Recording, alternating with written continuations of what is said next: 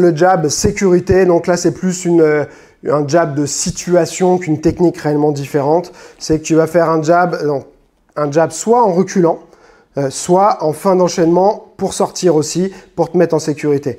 Mais l'idée c'est que s'il y a quelqu'un qui te charge, au lieu de juste reculer ou te défendre, tu vas faire ton jab.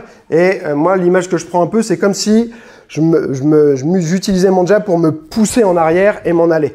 D'accord? Donc il n'y aura pas une grosse efficacité, mais ça va gêner l'adversaire dans sa progression, dans son avancée, et ça peut aussi moi, casser son rythme et casser son enchaînement. Donc là, il veut m'attaquer, boum, je recule.